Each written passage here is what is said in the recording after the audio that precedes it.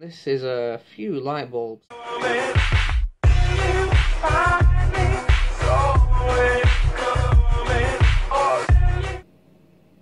And to be more specific, this is my gas discharge collection.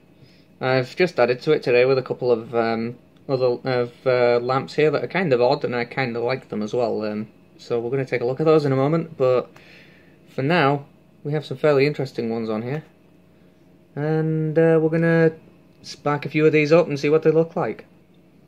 So to start us off, we're going to have a look at the uh, halide um, lamps that I have. So we have a Philips Mastercolor ceramic metal halide.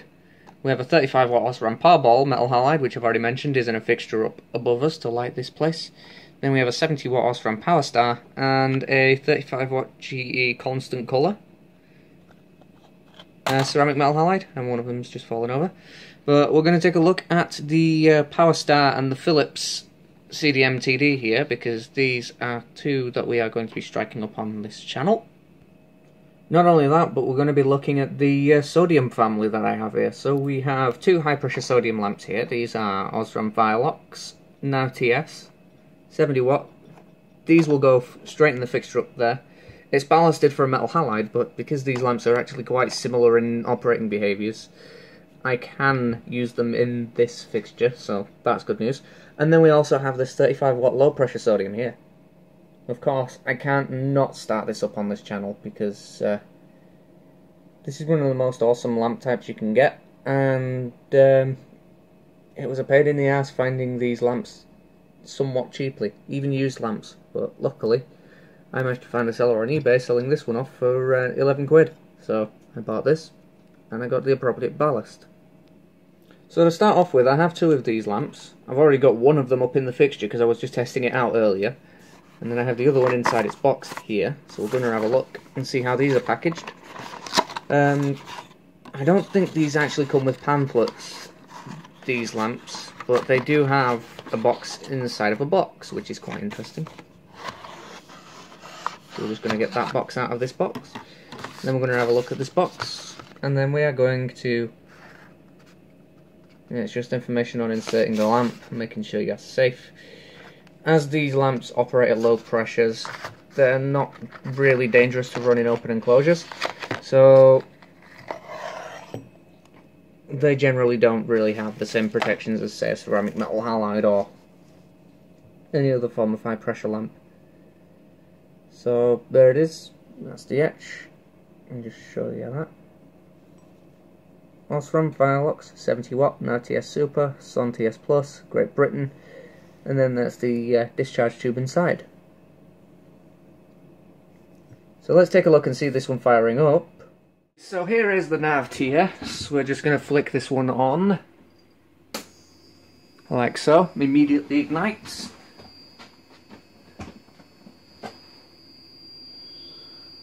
As you can see it starts immediately uh, launching the sodium into the arc stream pretty much. And then you get this really nice strong orange colour out of it.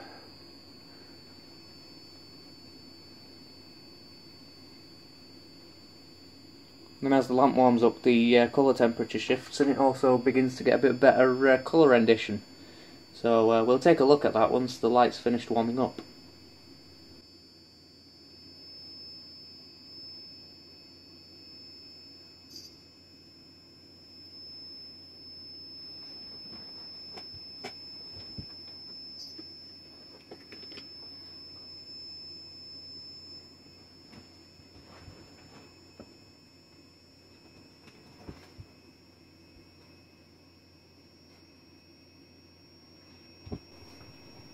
I'd call that about warm, so I'm just going to switch the camera over. Here's the desk, I've just got a few tools out just to see what the colour's like, and if I put my hand underneath it, strong yellow.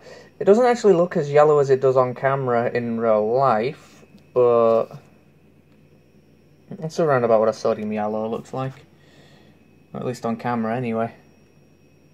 So let's switch over to one of the other lamps then. So, now that I've finished with this lamp, we're going to bring in its second cousin, twice removed the ceramic metal halide. This one is a Philips Mastercolor CDMTD, 70 watts, and it's got a colour rendering of over 90%, and it's 4200 Kelvin. That's what the 942 stands for on this lamp. So I'm not going to muck about, I'm just going to get straight into the box and show you the lamp itself, since the box art doesn't really show you much detail, because low-res box art is a good thing to some people, I guess. But anyway, here it is, this is the lamp. Standard RX7 base, it's the same as what your 500 watt um, halogen lamps would come in apart from it's a fair bit wider and the uh, base is a little bit chunkier as you can see. So inside here is a ceramic arc tube. It's made out of the same alumina ceramic that the high pressure sodium lamp is made with. So that's pretty neat to know.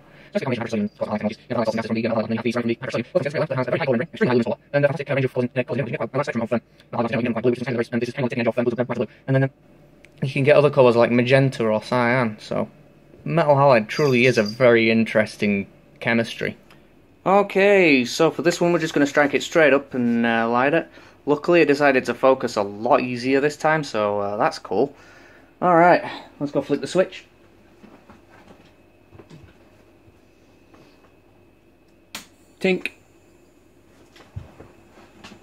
And I'm just going to make sure that camera stayed in focus, which, oh, surprise, surprise, it has done. And we're just going to watch this lamp warm up. Luckily, this shouldn't take just uh, shouldn't take as long as the high pressure sodium because uh, these lamps work at much higher temperatures and pressures and uh, get hotter faster. Interesting little side note: that blue color that you can see on camera the um, of the outer glass is actually the UV block. It fluoresces ultraviolet light, which is quite an interesting little effect, especially when you've got a black light, which I just so happen to have. I might show that one at the end of this video. Anyway, let's watch it warm up, and then we'll be back with a colour rendering test.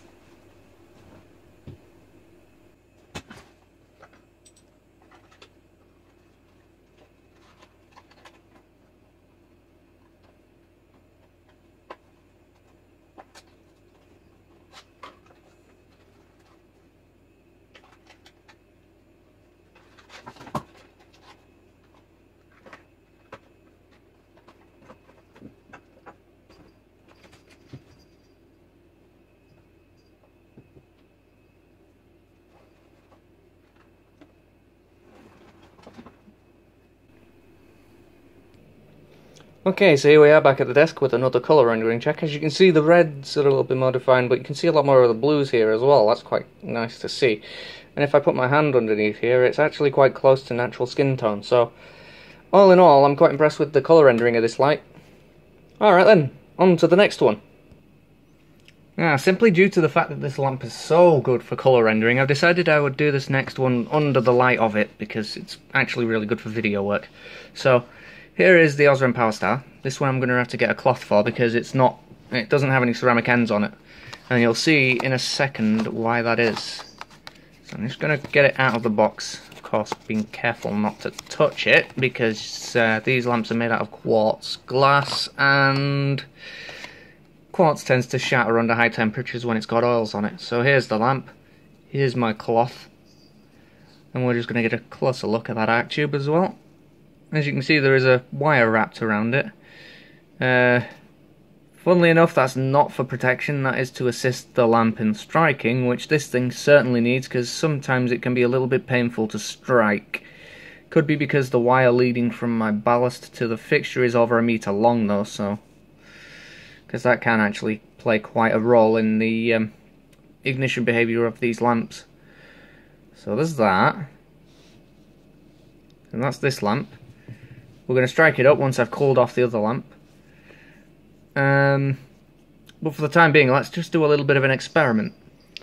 So it just so happens that I do have a fluorescent blacklight, which means that we can do this test, this little trick. It's quite cool. So I'm just going to hook this up to this fixture, switch it on, you can see it sort of glowing, as you can see there's quite a nice strong blue glow. We get the lamp out, and put it right in front of it. And that there is the UV coating fluorescing. Let's put my hand over, you can see it even better. It's quite a strong blue glow to it too. So I switch that off, look. Switch back on, and off, and on, and off, and on. There you go. And then just and then just as an added experiment, I've got the uh, Vialox lamp here, and as you can see, it doesn't really fluoresce under the black light, which is to be expected because um, sodium lamps don't actually put out that much UV, if any. This ceramic metal halide, on the other hand, most certainly does. As you can see, it's glowing quite strongly there. And then the one that's and the two that are up in the fixtures also do. So, now that we've just done that little experiment and satisfied our little uh, interest there by shining a UV light onto these things, let's stick this up in the fixture up there and see how it does. Of course, as I've said before, these ceramic metal halides actually glow quite a bit when you uh, switch them off. Also, just to prove a point, here's my black light again. That also fluoresces under black light. Cool, huh? Okay, so here is the Osram lamp in the holder. We're going to fire this thing straight up, no mucking about. In three, two, one. Ooh, nearly falling out off my chair here. Three, two, one.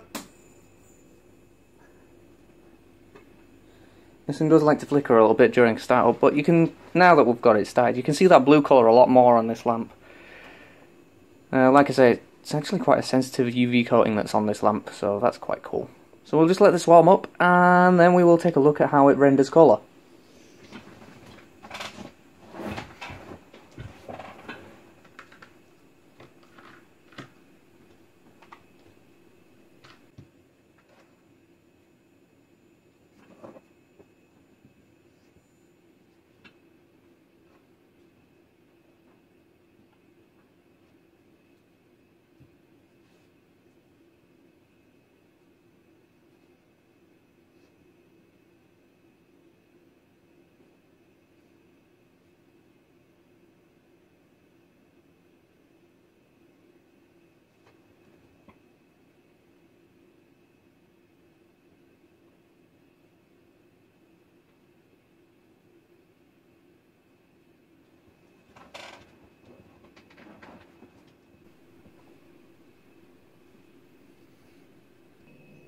Okay, so here's the colour rendition test. As you can see, the reds are a little bit more pronounced in this one, and we've got a bit more of that yellow that we saw from the high pressure sodium kind of colour. Um, it's not as bad as this in real life, it's not quite 100%, but you can still see we've got quite a lot of blues in the light as well as reds, and some yellows, of course, because uh, this is a halide lamp, they are known for yellows. So, that's this lamp. Okay, and now for the big guns. And here it is, the big guns. My 35 watt low pressure sodium lamp that's been in the background of this video for a little while now. We're going to strike this up because I do have an appropriate ballast for this. I even built an igniter so that I could start it up without having to spend a load of money on getting an SX72. So, hey, it'd be rude not to. Plus I've been teasing you with it all this video, so I can't not. Sadly, I'm not going to put the full warm-up in this video. I'm probably going to make a separate clip of this thing warming up at some point. Not quite sure when, because uh, I'm not sure when I'll have the time to be able to do that, but we'll see what happens. So I'm just going to hit the igniter switch here, and we'll see whether it wants to strike first time, which it does not, because I haven't even got it switched on. Doy! Let's try again then. Straight away. Come on. You can do it. It's not quite lit yet. Oh, it nearly had it. Wants to. There we go. That's lit. So as we can see, nice red glow. And it will progressively become more orange as it warms up, and then we can do a full colour rendering test. So uh, let's wait for it to warm up a little bit, and I'll be right back. We're getting close. And here we go, about 10 or so minutes later the lamp has fully warmed up and we are looking at how it renders colours. Also known as not very well. Um, the yellows are coming out okay on the camera. My hand is bright yellow. Can't see any of the blues. You can probably just about make out that that's red, but... Yeah. Just like I say, you won't be able to tell too much about what colour whatever... Um, what colour everything is. Of course, this will reflect light, so no real biggie. If I get something that's red, like this box, it actually looks less red on camera, so there's that. Anything that's orange, you can't even see the orange.